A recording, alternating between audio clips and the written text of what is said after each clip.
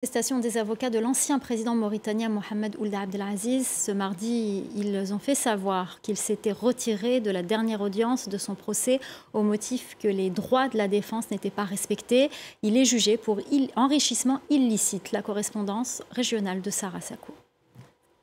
Selon maître Taleb Kiyar, l'un des avocats de l'ancien président, la défense s'est retirée de l'audience qui se tenait ce lundi à Nouakchott.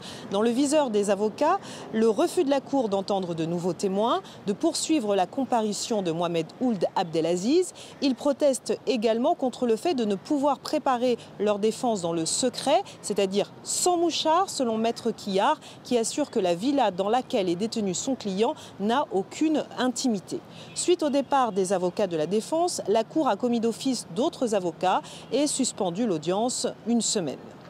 Du côté de la partie civile, on pointe du doigt une fuite en avant de l'ancien président et de ses conseils. Mohamed Ould Abdelaziz, comparé aux côtés d'une douzaine d'anciens dignitaires de son régime pour enrichissement illicite, lui clame son innocence et euh, assure que l'actuel président, qui est aussi son ancien dauphin, veut l'empêcher de revenir en politique, une accusation rejetée par le pouvoir de Nouakchott.